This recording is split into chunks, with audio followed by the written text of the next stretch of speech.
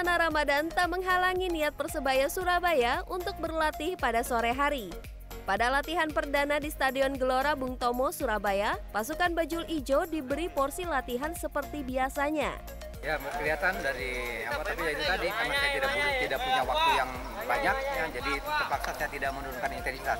Di hari pertama eh, masih eh, kelihatan eh, kerasa sama pemain kerepotan tapi saya berharap eh, di hari kedua, ketiga dan seterusnya mereka sudah normal. Saya himbau kepada pemain untuk eh, menambah gizi mereka, asupan mereka supaya mereka eh, tetap eh, seimbang. Meski berat menjalankan latihan selama bulan Ramadan, sebagian besar pemain tampak fokus. Misalnya Hansa Muyama. Momen pertama bagi pemain tim nasional Indonesia ini sejak bergabung dengan skuad Kota Pahlawan. pendapatnya pribadi sih apa alhamdulillah ya saya